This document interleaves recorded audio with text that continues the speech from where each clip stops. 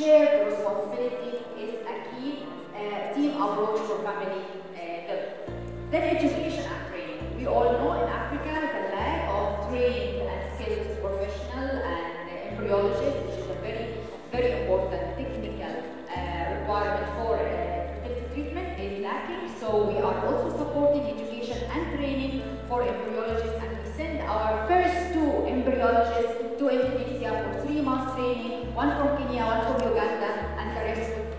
after the success of the first stage. And then, of course, defining ART policies. So we will speak today with the uh, Honorable Joyce Lay, and she will tell us about the first approved ART policy uh, by the uh, National Assembly, which is a great achievement and should be replicated in all African countries. The fourth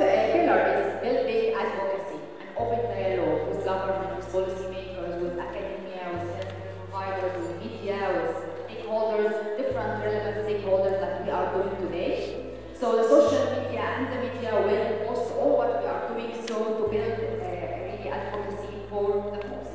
And then empowering infertile women, empowering them, so I'm improving access to information, awareness and education, and change of mindset, and empowering the infertile women who cannot have children anymore because of any uh, untreated causes to have their independent life by giving them small investment to uh, establish their small businesses so they can build their own independent and happy life. So uh, this I think is a full-fledged campaign will uh, actually target all the mul- multi-factor of uh, fertility in Africa.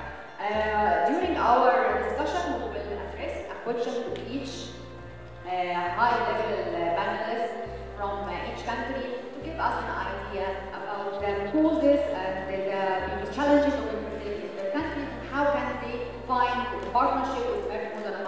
will achieve this uh, uh, objective. And I will address my first question to uh, Minister Honorable Sarah Opendi, Minister of Health of Uganda, and the Ambassador